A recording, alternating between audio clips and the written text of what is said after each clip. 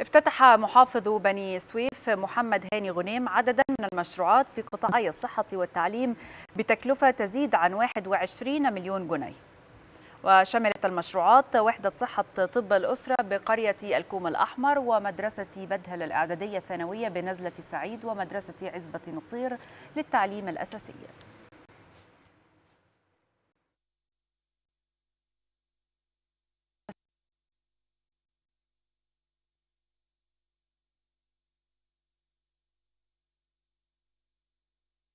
كان عندنا الفترة اللي فاتت عدد من الافتتاحات ومستمرة في كل مراكز المحافظة مشروعات اللي قامت بها الدولة المصرية خلال السنة الماضية على أراضي محافظة بني سويف.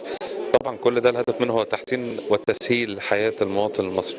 عشان كده إحنا وإحنا النهارده في مركز سموسطة إحنا النهارده دلوقتي في اللحظة دي كنا بنفتتح وحدة صحية بالكوم الأحمر تخدم قرابة 7000 بني آدم موجودين في هذه القرية. في نفس الوقت عندنا دلوقتي مدارس بنفتتحها بدل المدرسة كذا مدرسة منها طبعا مدارس تعليم أساسي.